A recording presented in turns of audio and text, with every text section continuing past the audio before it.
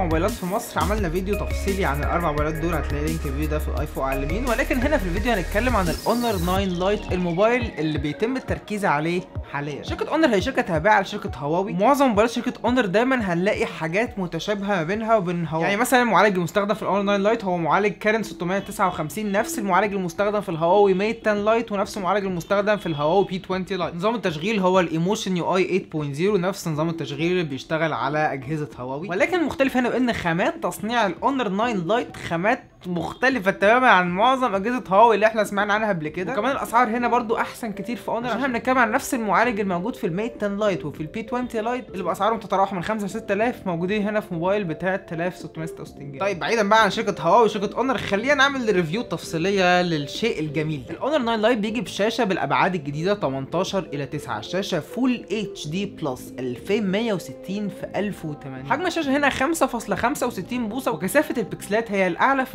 الاونر 9 لايت عن معظم الموبايلات الموجودة في فئه السعر هنا إحنا بنتكلم هنا عن كثافة بكسلات 428 بكسل لكل بوصة. يعني الاونر 9 لايت مثلا يقرب لنفس كثافة البكسلات اللي في الآيفون إكس مثلا اللي هو 450 بكسل في كل بوصة ولكن طبعا نوع الشاشة مختلف هنا OLED وهنا LCD عادية. فالمهم يعني في الآخر الشاشة هنا حلوة وكثافة البكسلات بتاعتها تعتبر أعلى من المتوسط الموجود في الفئة. في لونين للموبايل اللون الأسود واللون الأزرق وبصراحة أنا مش شايف في أي سبب إنك تروح تشتري اللون الأسود للموبايل. اللون الأزرق بتاع الاونر 9 لايت يا جماعة حاجة غريبة حاجة حلوة كتير حاجة حلوة جدا. أنا مش قادر ما أحبش اللون ده. وكمان بالإضافة إن الظهر بس مش هو اللي أزرق الحواف كمان زرقاء والوش بتاع الموبايل أزرق. في معظم الوقت اللي بنشوفها كان مجرد الظهر والحواف بتبقى سوداء والوش بيبقى أسود. ولكن هنا اللون الأزرق ده لون حوالين الموبايل من كل حتة وبصراحة اللون ده مبهر بطريقة رهيبة. هو آه هيبصم وهيبقى شكله وحش جدا بعد أول ثلاث ثواني تمسك الموبايل فيهم. ولكن ملمس الإزاز في إيدك حاجة خرافية. الحواف بتاعت الموبايل مصنوعة من الألومنيوم والزراير من المعدن. واجهة الجهاز مصنوعة من الإزاز وتقريبا ده أقوى حاجة أنا أقدر إن أنا أقول لك روح اشتري. الاونر 9 لايت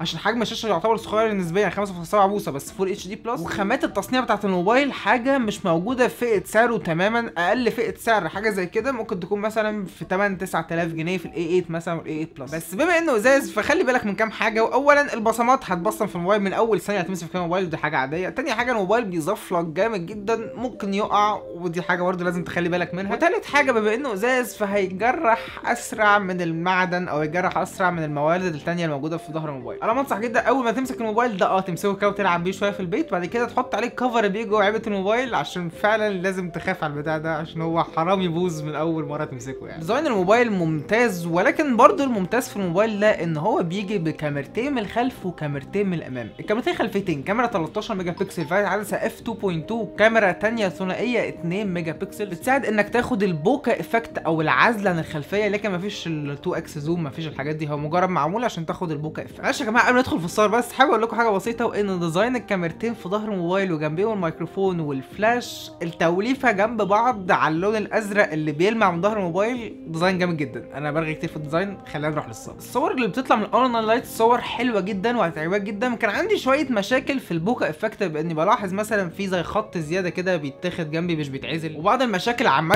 في ال bokeh effect اللي هي مش بتكون accurate ومش بتقدر تحددك لكن تقريبا بعد استخدام الموبايل ده أسبوعين جالي software update حسن جدا أداء الكاميرا وال bokeh effect. تقريبا ما بتغلطش. دلوقتي. ألوان الصور في خلال الاضاءه العالية ألوان حلوة مش ممتازة طبعا زي مثلا حاجة زي الآيفون مثلا ولا أي موبايل تاني ولكن حلوة جدا. ميزة العزلة من الخلفية هنا بتشتغل بطريقتين. الطريقة الاولانيه وهي ال portrait mode أو بمعنى صح اللي بتستخدم لعزل البني آدمين عن الخلفية. الطريقة دي بتكون معمولة أكتر اللي هي تعرف إن في مثلا شعر وودان للبني آدم فلما تيجي تحدد ال edges بتاعت وشه تحددها مظبوطة أكتر. عن الطريقة الثانية هنتكلم عليها كمان. بس أهم حاجة أول ما تفتح ال portrait mode إنك تنزل تحت كده وتقفل الشيء اللي اسمه beautify mode عشان أنا بكره الشيء ده يا جماعة بيخلي شكل الصور مش واقعي خالص. فاقفل ال beautify mode أول ما تفتح ال portrait mode على طول. والطريقة الثانية لأخذ الصور المعزولة عن الخلفية بس للأشياء مش للبني آدمين هو ال wide aperture ووضعيه ال wide aperture بتقدر تختار من أول F 0.95 لحد فتحة عدسه F 16 أنا كنت عامل غلطة غبية جدا في بداية استخدام الموبايل ده بان كل الصور كنت بصور بكاميرا خلفية بني آدمين أو أشياء كنت بصورهم بال wide aperture وكنت بعمل بتاعي على F مثلا 2.8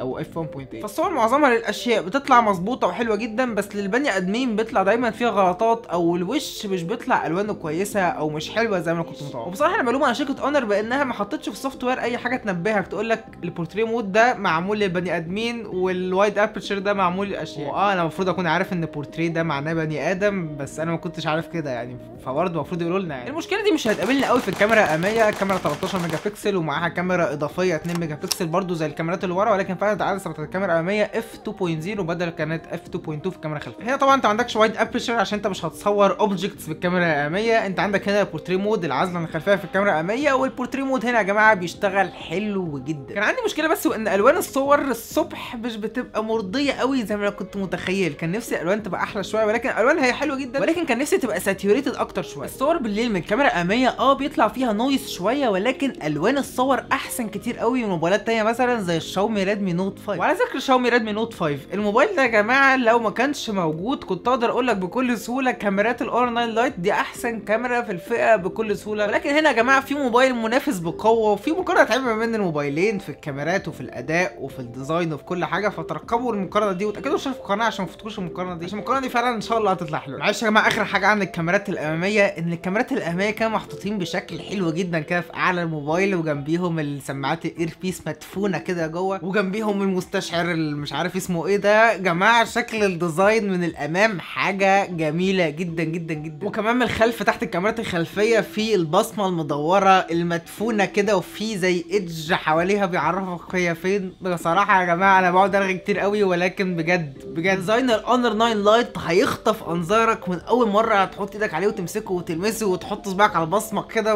وتحس إحساس الموبايل فعلا هيعجبك. وبما اننا جبنا سيرة البصمة فالبصمة هنا بتشتغل. أه مش سريعة مثلا زي ال Mate 10 Lite أو ال Oppo F 5 أو ال F 7 ولكن في نفس الوقت اللي هي مش بطيئة خالص فأنت ما ينفعش تفتح الموبايل ده بالبصمة وأوعى تستخدم بصمة لا البصمة سرعتها متوسطة. آه بتدوس بتستنى تقريبا نص ثانية ثانية كده على كان موبايل بس لو أنت مش من هواة البصمة فبما إن Honor ده شركة تابعة ل Huawei و Huawei بتعمل software اسمه Emotion UI ومن ضمن ميزات ال Emotion UI هي بصمة الوش أو ال face unlock فال Honor 9 Lite فيه ال face unlock اللي بيشتغل في كل أنواع الإضاءة. حتى لو ده مضلمة تماما مفيش أي نور غير brightness الموبايل شاشة الموبايل نفسها اللي منوراك الموبايل برضه بيفتح. آه بياخد وقت أطول شوية مثلا ثانيتين ثلاث ثواني عشان البصمة تفتح ولكن بتفتح في معظم أنواع الإضاءة. ال software المستخدم هنا هو Android 8.0 وعليه ال Emotion UI اللي هو من ضمن ميزاته ال face unlock ولكن برضه في ميزات تانية مثلا زي ال App Twin بانك تقدر تعمل اثنين applications من ال social media مثلا اثنين واتساب رقمين مختلفين واثنين Facebook Messenger ميزة ال smart resolution بإن الموبايل يقدر يختار لوحده سواء هيكون الشاشة دي HD plus أو full HD plus عشان يوفر بطارية على حسب اللي أنت تتفرج عليه سواء صور مثلا فيخليها resolution عالي أو مثلا أنت بتلف في النظام بين ال applications فيخليها resolution أقل عشان الموبايل يبقى أسرع وبطارية تفضل وقت حرك ثلاث صوابع اللي تحت على الشاشة فتاخد screenshot أو تدوس دايستين على الموبايل فالشاشه تفتح أو دايستين كمان فالشاشه تقفل. كل دي features ممتازة جدا وأنت فعلا تستخدمها كل يوم وهتحتاجها في وقت من الأوقات اللي أنت تدوس دايستين على الشاشة تاخد screenshot كل الحاجات دي حلوة جدا. ولكن في نفس الوقت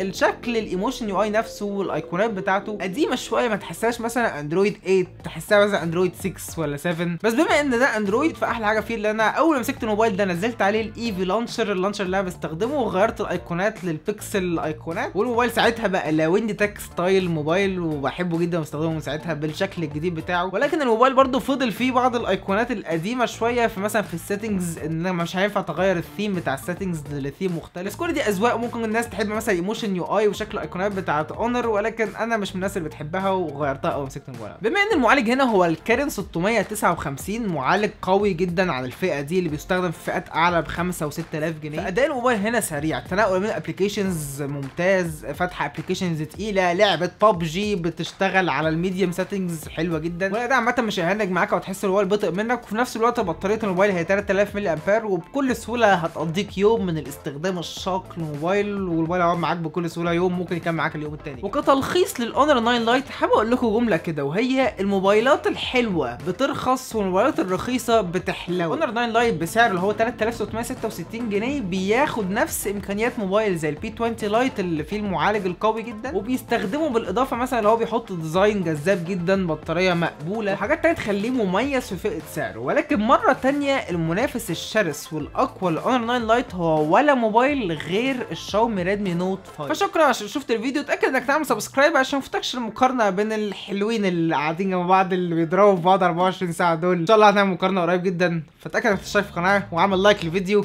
واعمل share برضو عشان الفيديو ده أخد وقت مجهود فاعمل share عشان تساعد الناس اللي عايزة تشتري الموبايل ده إن هي تلاقي الفيديو ده بس. يا جماعة في نهاية الفيديو نحب نشكر الشخص ده اللي اسمه مايكل عشان بيساعدنا كتير بغباوة في ال videos وانتوا أكيد بتشوفوا آه، تقريبا ده ناطط في كل ال videos فشكرا يا مايكل تاكدوا انكم تشاركوا في قناته قناته هتلاقيها في مكان ما على الشاشة دلوقتي موجودة في وصف الفيديو بيعمل فيديوهات سفر.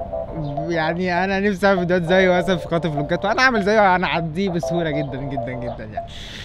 ماشي يا جماعة شكرا شفتوا الفيديو اشوفكم في الفيديو اللي جاي